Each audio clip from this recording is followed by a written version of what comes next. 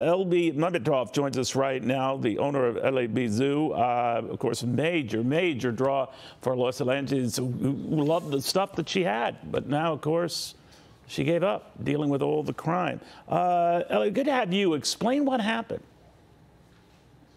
Hi. So, you know, it was really great to open in the Beverly Center. Um, we had, you know, really great, you know, neighbors with Tiffany's and Fendi and Burberry. Um, however, you know, those are labels that do draw a lot of grab and runs, unfortunately. And, you know, we were sitting ducks, and in the Beverly Center, unfortunately, there wasn't the level of security to really look out for us as retailers. Um, you know, even from, you know, how we would access our stores, uh, it was accessible to everyone. You know, the doors automatically open and anyone can walk through that hallway, check to see if your store is open and steal from your store.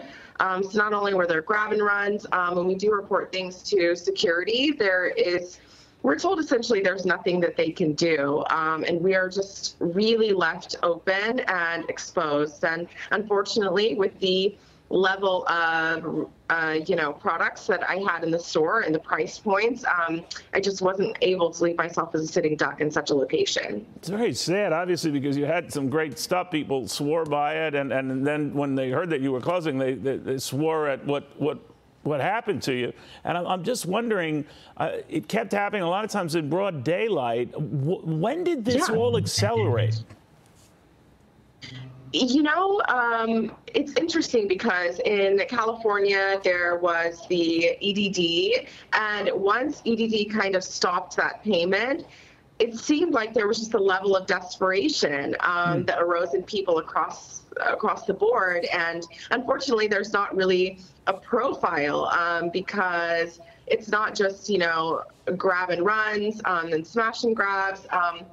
We also recently had, you know, a celebrity stylist, uh, Brandy Norwood, tried to, you know, borrow a ring and, you know, disappear with the ring. So um, there's just all kinds of different levels of theft happening right now that are, you know, unimaginable, really. But what was security doing, or what were local police doing? I mean, uh, when you asked for or wanted help, what what, what was going on? you know, in instances with the security at the Beverly Center, when you report something, they say, we'll watch out for them, but there's nothing that, you know, we can do. Um, they will say, sorry, that person said they don't have anything. There's nothing that we can do. Um, so a lot of stores were just watching people walk off with their merchandise, which Incredible. is very frustrating. And, you know, if the measures aren't put in place by the actual center to even help us prevent such measures, you know, we're really at a loss. And even when we had to report the celebrity stylist to the police, I mean, we had to talk to three, four police before we could actually get to a detective. So, right? you know, we were told at first, make the, make the report online. You know, it's a $50,000 ring. How can I report it online? Incredible. So what do you do now?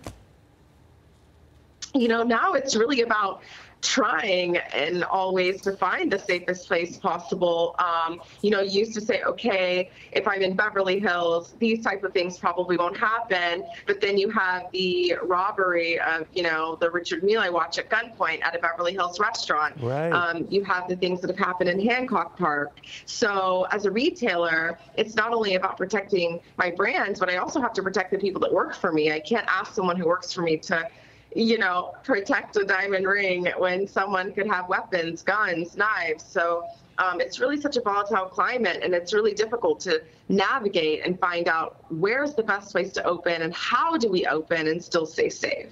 Well, I hope you stay safe, and I hope you are okay. Uh, but man, oh man, Elliot Mambetov, uh, please keep us posted. A lot of people are saying they hope you reopen again and, or, or somewhere else. Uh, but be well, be safe. Thank you so much. Hey, Sean Hannity here. Hey, click here to subscribe to Fox News YouTube page and catch our hottest interviews and most compelling analysis. You will not get it anywhere else.